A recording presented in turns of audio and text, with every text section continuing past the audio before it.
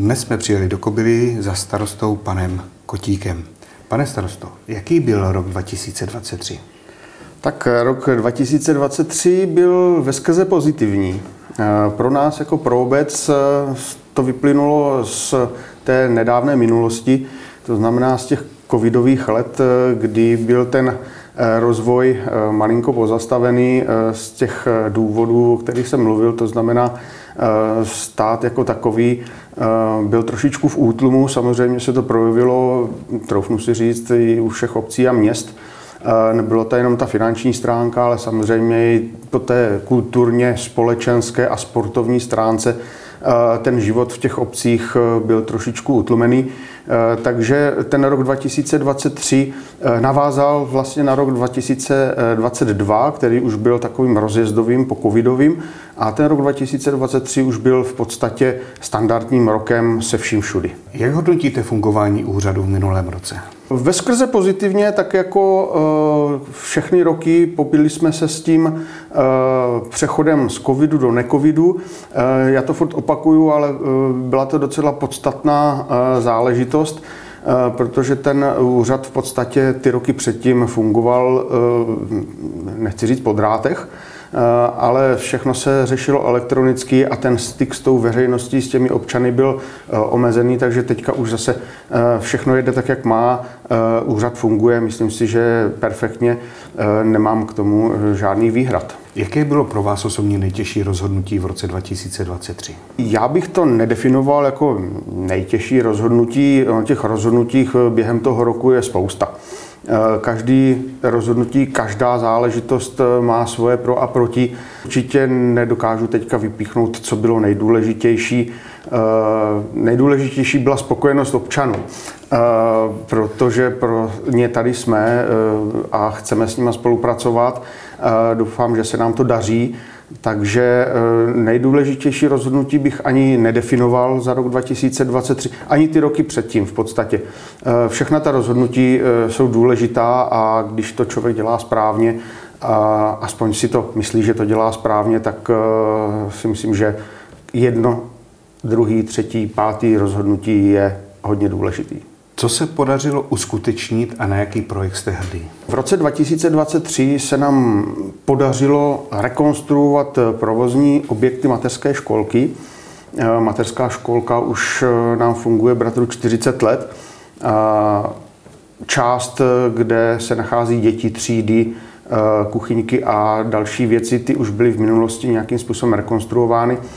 Nicméně školka má další objekty, které kdysi fungovaly Eh, jako zázemí pro mateřskou školku a my jsme se rozhodli je eh, zrekonstruovat. Vytvořili jsme tam eh, prostory pro lékaře a s původní kotelny, která fungovala jako skladiště, jsme vytvořili tělocvičnu, my tomu říkáme tělocvična pro malé sporty, která už v současné době funguje pro cvičení žen, pro cvičení jogy, pro fotbalisty, na posilování a podobně. Takže eh, toto je jedna z těch velkých akcí, která se nám podařila. Eh, jsem za to rád, protože ta projektová příprava nebyla jednoduchá. Eh, v podstatě ta část, která je zrekonstruovaná, vypadá úplně jinak než předtím. Prostory se zvětšily, opravili, je tam nová vzduchotechnika, je skolaudován ten prostor pro lékařské účely takže jsme tady s touto rekonstrukcí nadmíru spokojeni. To se strašně dobře poslouchá. Ale co se naopak nepodařilo uskutečnit? Máme takový velký projekt eh, pro eh, výstavbu rodinných domků tady eh, u nás v Kobylí. S tím souvisí další velký projekt výstavba bytového domu. Tam ta legislativa je docela složitá. My v současné době máme připravené kupní smlouvy na pozemky s jednotlivými vlastníky s tím, že ruku v ruce už eh, řešíme projektovou dokumentaci, eh, tak aby jsme mohli eh, tento rok parcelovat tu plochu, která je vyčleněná vlastně pro rodinné domky. No a jak jsem říkal, připravujeme velký projekt bytového domu, kousek od tady této lokality, tak aby jsme udrželi mládí v naší obci, případně ti Eh, kteří se sem chtějí přistěhovat, kterým se tady u nás líbí, aby měli možnost eh, se tady realizovat u nás. Jak hodnotíte fungování zastupitelstva? Zastupitelstvo v tomto volebním období si myslím, že má našlápnuto velice dobře. Věkový průměr zastupitelstva je v současné době velmi malý. Jsou tam v podstatě noví lidé ze všech volebních uskupení, který, který kandidovali, tak jsou to mladí a šikovní lidé, takže si myslím, že zastupitelstvo jako takové se semklo v podstatě většina z zastupitelů pracuje jak pro zastupitelstvo, tak pro místní spolky. Eh, takže se to eh, malinko prolíná. Eh, je to výborná věc, je to výborný model, protože v podstatě zastupitele vědí, co se děje ve spolcích a přenáší ty informace zase zpátky k nám. Takže si myslím, že si zastupitelstvo určitě sedlo a pracuje tak, jak má. Na jakou významnou, veselou, smutnou událost minulého roku vzpomínáte?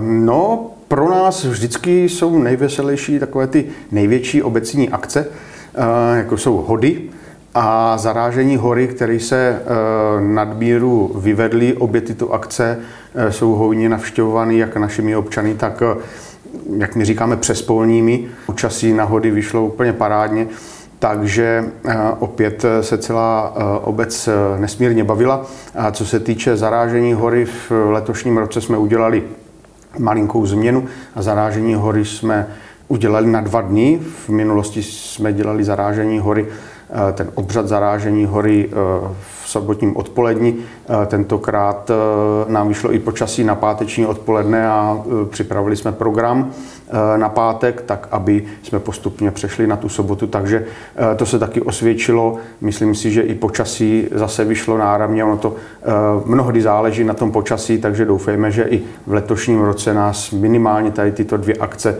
bude provázet dobré počasí. To jsme probrali rok 2023 a teď se podíváme do roku 2024. Jaké jsou pro vás priority pro rok 2024? Naší prioritou je připravený projekt rekonstrukce části komunikace osvobození. Eh, v podstatě za dva, tři měsíce už eh, budeme pracovat na tom, aby se eh, ta rekonstrukce začala trošičku hýbat. Máme samozřejmě stavební povolení, máme vybranou realizační firmu a budeme předávat staveniště, eh, takže 6 eh, měsíců eh, bude střed obce trošičku neschůdný, nicméně pevně věřím tomu, že samozřejmě občané pochopí, že stav té komunikace je natolik havarijní, že musíme tady tuhle akci provést. Byť tam budou omezení jak pro samotné obyvatele té ulice Osvobození, tak pro zásobování Eh, máme vybrané eh, objízdné trasy a budeme se snažit eh, fázovat tu rekonstrukci tak, aby nebyla celá ta komunikace neprůjezdná, ale aby se dělala po částech. Takže doufám, že všechno klapne a my na konci prázdnin budeme moci s hrdostí komunikaci otevřít a začít ji využívat pro naše účely. Jaké další investiční akce připravujete pro rok 2024? Jak už jsem nakousl, připravujeme nákup pozemků pro eh, výstavbu rodinných domů a eh, další věci, eh, co se týče projektových dokumentací. Další část ulice Osvobození, která teda bude na vícero částí, tam už samozřejmě máme taky hotový projekt. Budeme potom realizovat eh, výběrové řízení na dodavatele další části. Následně eh, máme samozřejmě naplánované projekční práce, jak už jsem říkal, bytový dům, eh, oprava střechy Sokolovny, chodníky komunikace, běžné věci, které potřebují ten zásah po těch letech. Je to samozřejmě běžná věc, takže tady tyto akce máme naplánované na rok 2024 digitalizace obce, vyřizování dokumentů, internet, kabelovka, web. Nějaké změny? Máme jednu velkou podstatnou změnu. Eh, podařilo se nám eh, položit eh, optický kabel do naší obce. Na konci roku 2023 jsme byli, jako obec jsme byli připojeni na optický kabel, na vysokorychlostní internet a postupně jednotlivé domácnosti přecházejí na nové připojení přes právě tady tento optický kabel. Co se týče digitalizace obce, my to řešíme komplexně s mateřskou školou, základní školou, s muzeem obce Kobylí. Digitalizace státu vlastně probíhá, bude do budoucna jenom daleko vyšší. Plánujete i nějak pomoci těm nejstarším občanům, kteří právě s tou digitalizací mají obrovský problém? Pomůžete jim s vyřízení dokumentů, po případě můžou se na vás obrátit s nějakýma požadavkama? Určitě samozřejmě můžou. My už to řešíme vlastně v současné době.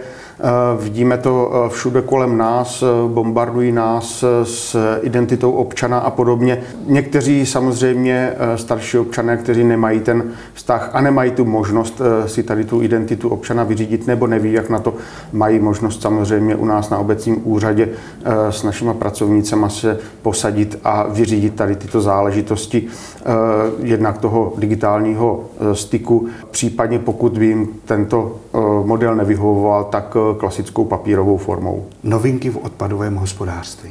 Co se týče odpadového hospodářství, neplánujeme zásadní změny. Samozřejmě monitorujeme stav legislativní. Víme, že poplatky za odpady, za skládkování se budou v budoucnu rapidně navyšovat. My již 10 let využíváme třídění odpadů v samotných domácnostech. Spíráme za to i ocenění. Mimochodem v minulém roce jsme taky byli oceněni jako obec, která má nejméně směsného komunálního odpadu na osobu. Byli jsme na jedných z prvních příčkách, jsme za to rádi, že naši občané třídí odpad. A samozřejmě ten tříděný odpad neskončí ve spalovnách, jak si každý myslí, ale je dál dotřídovaný na určitých místech tak, aby ta komunita byla zpracována tím způsobem, jakým my si představujeme a proto my to vlastně děláme. Co se týče poplatků za odpady, nezvyšujeme pro rok 2024. Tento poplatek zůstává na stávající výši a navíc naši občané si můžou takzvaně natřídit slevu. Co bude pro obec nebo pro vás osobně největší výzvou v roce 2024? Bude nákup pozemků, já je zmiňuji, protože to je akce, která už se táhne dlouhý roky. Konečně jsme se dostali do toho stavu, kdy jsme vyjednali úvěr na nákup těchto pozemků a můžeme tyto pozemky vykoupit tak, aby byly v našem vlastnictví, rozparcelovat po případě zažádat i o dotace na výstavbu rodinných domků. Jak se připravujete na nárůst cen energií? Spolupracujeme s velkou firmou na dodávkách energie. Máme vysoutěžené ceny již od října roku 2023. Myslím si, že ta cena odpovídá dnešním trendům. Posilili jsme rozpočet tady v těchto, v těchto fázích. Nicméně nepředpokládám, že by ceny energií výrazně zasahovaly do rozpočtu naší obce. Nějaké úsporné opatření, LED světla, fotovoltaika? V současné době připravujeme dva projekty. Jednak je to projekt fotovoltaiky v takzvané komunitní energetice, která je teďka na stole. A další věcí je žádost o dotaci v programu Efekt na výměnu veřejného osvětlení ze sodíkových na LED lampy. Jaké jsou vaše osobní předsevzetí do nového roku? Být zdravý a jak už to vždycky po novém roku takhle bývá, začít se víc hýbat a samozřejmě věnovat se rodině a přátelům. Nicméně těch předsevzetí by byla velká spousta, protože mm, když má člověk hodně zájmu a hodně koníčků, tak by o nich mohl mluvit dlouze a dlouze. Takže pro mě a troufnu si říct, že i pro ostatní jsou prioritní věci, jako je zdraví a spokojenost. Co byste chtěl popřát Kobylským do nového roku? Kobylským do nového roku bych chtěl popřát hodně spokojenosti a nejenom do nového roku, ale i do dalších let, ať se jim v Kobylí líbí. Děkuji moc za velmi příjemný rozhovor. Děkuji.